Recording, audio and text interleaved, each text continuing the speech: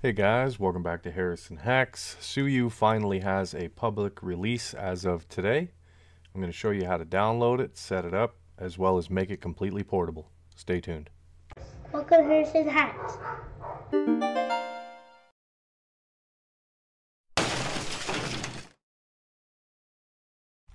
Hey everybody, welcome back to the channel. So let's go ahead and get our Suyu for Windows set up and completely portable. So the first link in the description is going to take you to the GitLab where we can get the first release, first public release of Suyu. If I say Yuzu throughout the video, I apologize. It's Suyu. Uh, but we're going to left click on the Windows right here, x86 underscore 64 and we'll have a 75 megabyte download. So you just left click on this and it'll download for you. Next, we're going to need some product keys and title keys. So the second link in the description will take you to this page. You're going to click on the download product keys and title keys and then just left click on download here and it will download for you. And the next thing will be they've supplied the firmware files. So the third link in the description is going to take you to get the firmware. So we're going to scroll down. It'll say download Suyu firmware. Left click. And then come all the way down. And here we go. So you can use the top one. That, that's what I use, but you can also use the second one. It's up to you. But the archive.org, you can just left click on download and it works. So we're good there.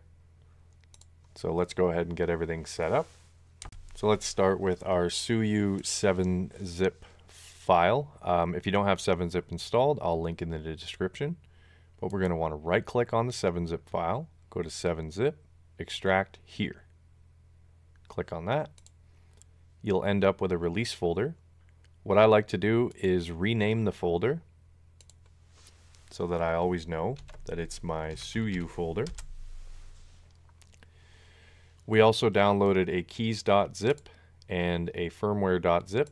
So let's highlight them both. Right click, 7-zip.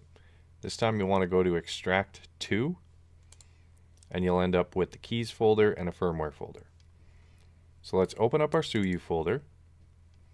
And before we launch anything, we're going to right click on a blank space, new, folder.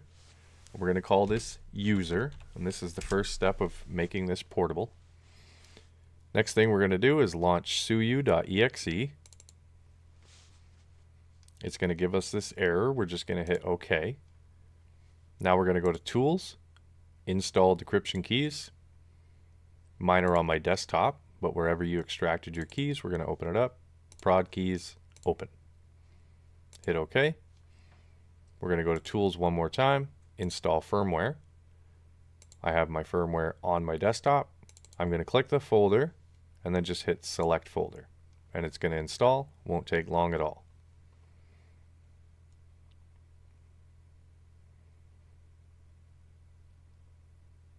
There we go.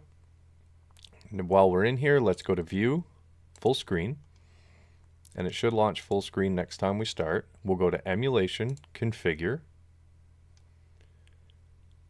so I like to hide my mouse. You can work out hotkeys if you choose. Um, here is UI options, so you can change your theme if you want, your grid style, so on and so forth. I like to go to System, make sure everything looks good here. Then you can go and make profiles if you want. I'm not sure exactly how well that's running just yet but it's a feature I'm going to show you in a second. CPU, they recommend leaving that auto. Here's where you can set your graphics. You can change them however you so choose. And then your audio and your controls. So you can select Pro Controller. Mine, I have an Xbox controller and it auto maps everything. So I have nothing to worry about there. And then I'll hit OK. Now we're going to close the emulator. We're going to right click on a blank space. We're going to go to new folder and we're going to name it games. just like that. So I'm going to open up my games folder and I have some games on my desktop. I'm going to drag them in just like that. So we will launch suyu.exe one more time. And this time we're going to go and double click to add the games folder. So I'm in my Suyu folder, games, select folder. There's all of our games. If you want to install updates or DLC, you go to File, Install Files to NAND, and I'm going to go to my desktop, and here are my updates. So you can select all of your updates at once, hit Open, make sure they're all checked here, install. It doesn't take long at all. I only had six. There we go. I'm going to go to File, Install Files to NAND. This time I'll do my DLC. Highlight everything. Open. Install. Boom. So another nice feature of this emulator, if you go to Tools and you want to open Home menu, This is going to launch up the switch home. There we go. And you can launch games through here if you want. Let me just make sure I'm muted.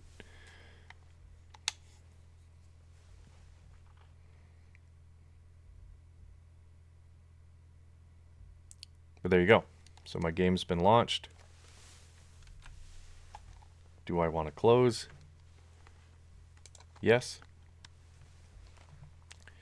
So if you want to launch right into the switch front end instead of looking at the Suyu GUI, what you'll want to do is go to your suyu.exe, right click, create shortcut. So I'm going to name mine Suyu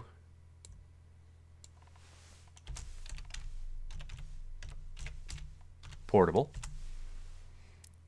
Now we're going to right click on the shortcut, properties, and where your target is at the end, you'll want to put space dash QL, then hit apply, OK. And the last step to make this completely, completely portable is to go to your user folder, config, qt-config.ini. We're going to right click, edit, we're going to scroll all the way down to the bottom. And where it says paths for your game directories, we just want this to say the word games. So path equals games. Make sure we file, save, close. Now if I were to launch with my Suyu portable shortcut,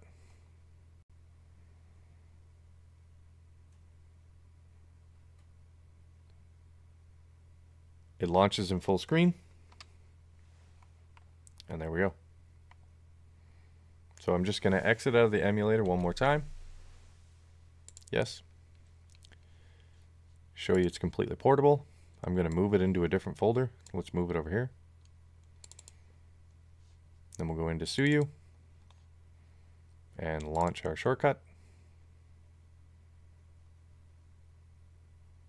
And it is completely portable.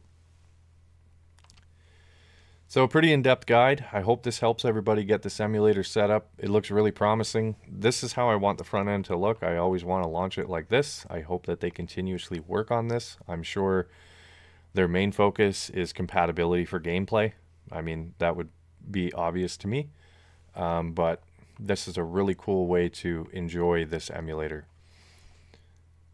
So please hit that like button, subscribe to the channel, but most importantly, have a good day.